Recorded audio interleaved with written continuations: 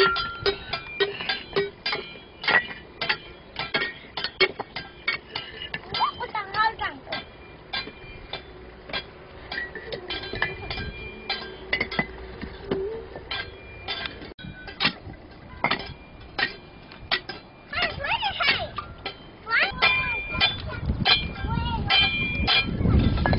好他爸爸去年八月八月初十晚上死点了嗯。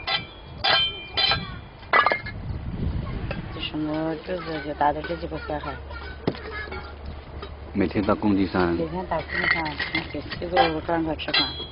嗯，这三个小孩分别几岁都？啊？分别都是几岁？几岁啊？啊。嗯，大那个八岁，嗯，那二六岁，嗯，那三嗯四岁。都没有读书是吧？没有。就是每天跟着你在工地上干这个。呃，对呀。他们每天能干干多少？他们明天嘛，你每一天嘛，称这个砖块，修不得多少呢？修，你这个砖块是他修起，那小那个嘛修得五十平，到那个那个看来修得都，那个马跑才修得都一百平吧。嗯，这个大概多少钱？他们一天可以？这个嘛，嗯，好看那天嘛，那要多看一点；不好看那天嘛，像这个砖就看不到。这个砖，这个砖嘛，三个小孩砍的都十来块钱。一个赚多少钱？三分。三分钱一块钱。嗯。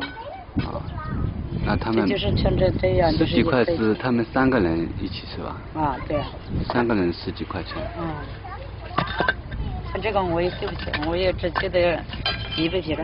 那他们那个。在那个砍砖的时候有没有受伤？嗯，受伤。嗯。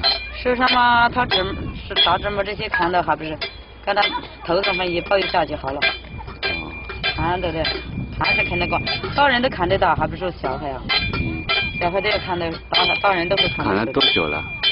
看了两三，嗯，我们啊。嗯。我们在这工地上。不是那个小孩。小孩啊。嗯。小孩嘛打那个一针，我在这工地上他就跟着看了。那也有也有一段时间了。对，我在这里工地上两三年了。他也小孩也跟着看了两三年了。嗯，小孩打那个一直都跟我走了，都跟我上工地。啊。他以前他爸爸在这里嘛，他们就在家里，就在家里。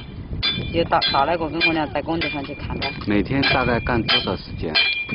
每天嘛，嗯，我们像至少就天亮五点过的就五点过的就就出去，出去出去十一点钟又到家，到家来弄点饭来吃了，又去医院。晚上的至少是五点半黑嘛，就是黑了就回家嘛。